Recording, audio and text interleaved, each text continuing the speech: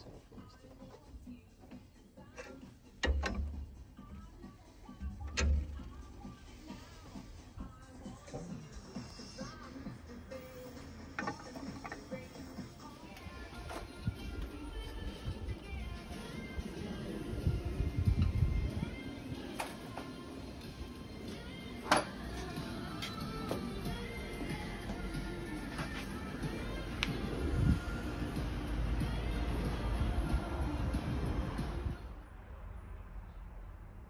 Okay, so inside this, there is an actuator, and that's the metering device.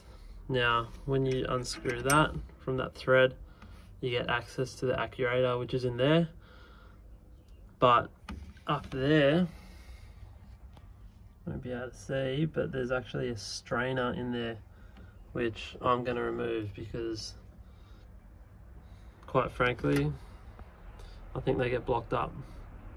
So that's what I'm going to do. So that's the strainer that I pulled out. As you can see, like if that's in the pipe, it's a 3-8 pipe. That can definitely affect your pressures. So every time I got an old system open, definitely check that been caught out before.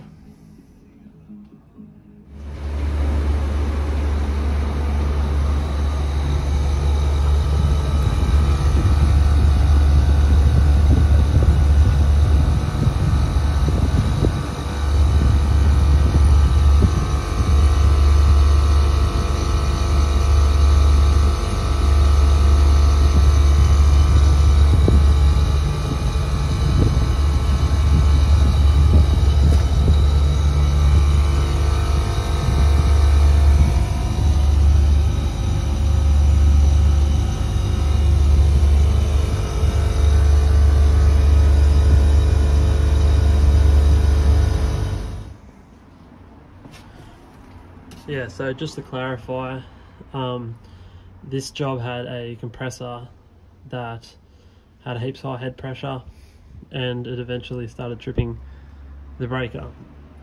So I've replaced the compressor. Now the replacement for this particular unit um, had was designed for 407 and had polyester oil. So I've had to do an oil change on this before changing it. So it's mineral. And then so I've changed that changed the fans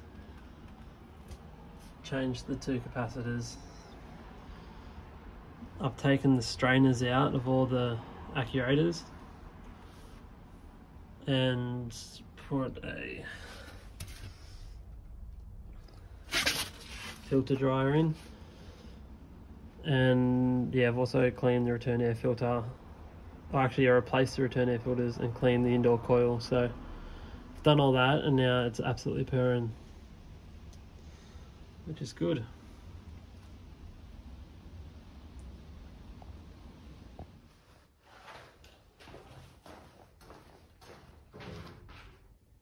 So I took some oil out of this Copeland scroll that is like 20 plus years old um, just to see what the oil looked like but to be honest look, there's like slight discoloration looks alright this one is yeah like the original compressor that runs on mineral oil and it's like 20 years old roughly maybe more.